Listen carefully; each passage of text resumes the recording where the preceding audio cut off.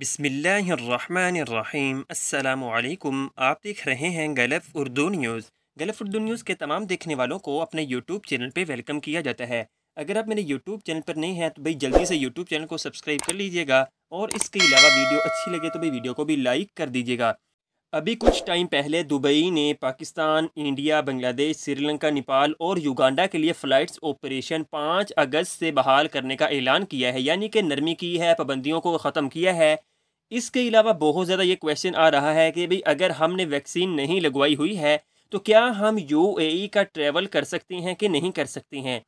تو بھی میں سب سے پہلے آپ کو ایک بات کلیئر کر دوں، یو اے ای نے اپنے اس ریکارڈ میں، اپنے اس نیوز میں مینشن کیا تھا کہ بھئی وہ ریزیڈنٹس جو یو اے ای کا سفر کرنا چاہتی ہیں پانچ اگست سے ان چھ ممالک سے، ان کو یو اے ای کی اپروو کردہ جو ویکسینز ہیں، اس کی دونوں ڈوزز لگی ہونی چاہیے، تبھی وہ مسافر کیا کر سکتے ہیں، وہ ریزیڈنس کیا کر سکتا ہے یو اے ای کا پانچ اگست سے ٹریول کر سکتا ہے۔ میں امید کرتا ہوں آپ کو میری بات بہت اچھے سے سمجھ آ گئی ہے کہ اگر آپ کے پاس ویکسین لگی ہوئی ہے، دونوں ڈوزز ہیں، تو آپ یو اے ای کا ٹریول کر سکتے ہیں۔